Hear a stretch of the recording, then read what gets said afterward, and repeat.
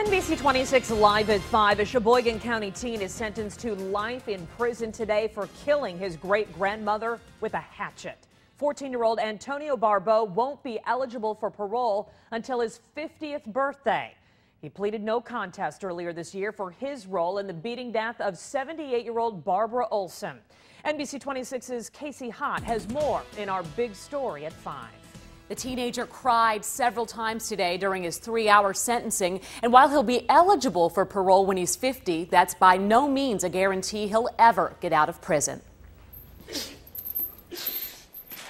Instead of starting his freshman year in high school, 14 year old Antonio Barbeau will go to prison.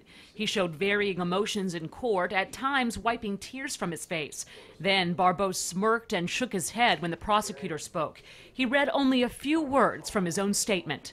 There's a lot going around said by the news, DA, and many other people that I'm a cold, heartless, careless, careless killer.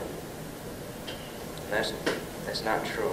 Barbeau pleaded no contest and was convicted of killing his great grandmother. He and his friend bludgeoned Barbara Olson to death with a hatchet and a hammer. The prosecutor says the boys stole $150 and used the money to buy pizza and pot. They really don't care about rehabilitation. They just want to put them away uh, so they can't, you know, they understand the, the seriousness of the crime.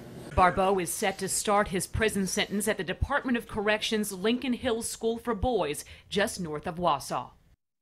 Barbeau's accomplice and friend Nathan Paape is scheduled for sentencing in the same courtroom first thing tomorrow morning. Casey Hott, NBC 26.